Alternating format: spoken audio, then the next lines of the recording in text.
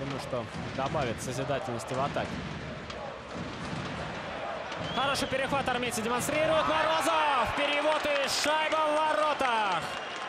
Здорово все было разыграно. И Виталий Колесник вынужден пропустить шайбу между своих щитков.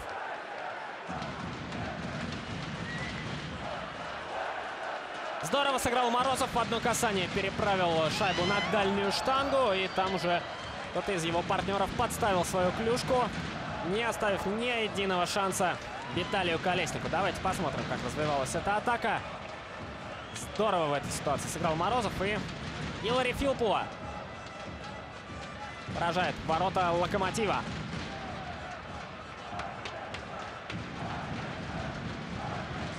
1-1 под занавес первого периода. Московские армейцы сравнивают счет. Гончаров с шайбой